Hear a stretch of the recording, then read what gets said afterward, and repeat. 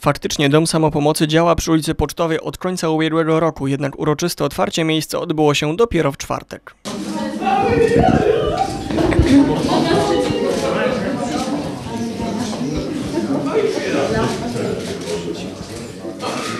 Na otwarciu obecni byli przyszli podopieczni ośrodka władze miasta oraz wszyscy ci, którzy starali się, by ta inwestycja doszła do skutku. Według prezydenta Piotra Trzystka dom samopomocy to bardzo ważna inwestycja dla naszego miasta. To miejsce jest doskonałym do tego, żeby prowadzić terapię, żeby tutaj tworzyć tą pozytywną przestrzeń i tych e, naszych podopiecznych, ważnych dla nas, wdrażać do, tej, do tego codziennego życia, do tych różnych form, które e, na co dzień nas e, spotykają i z którymi chcemy obcować.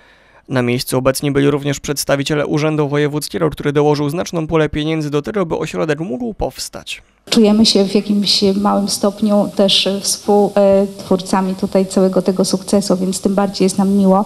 Myślę, że pomysł wspaniały e, i myślę, że tutaj możemy chyba w imieniu wojewody zachodniopomorskiego powiedzieć, że mm, każdą taką inicjatywę, każdy taki pomysł tego typu będziemy wspierać. Pomysł stworzenia miejsca, gdzie niepełnosprawni powyżej 23 roku będą mogli przygotowywać się choć trochę do samodzielnego życia, wyszedł od matek. Przez rok usilnie starały się, by inwestycja mogła dojść do skutku.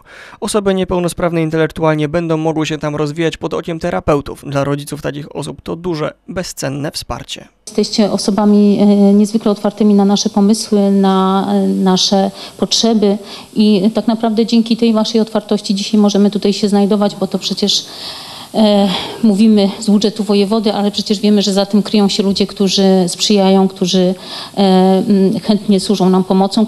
Remont miejsca przy ulicy Pocztowej trwał blisko dwa miesiące. Mieszkanie składa się z dwóch części. Wyposażenie i możliwości nowego miejsca robią wrażenie. To już piąty środowiskowy dom samopomocy w Szczecinie. Drugi przeznaczony dla osób niepełnosprawnych intelektualnie, a pierwszy dla osób dorosłych. Miejmy nadzieję, że osoby mieszkające tam dobrze odnajdą się w nowym miejscu zamieszkania.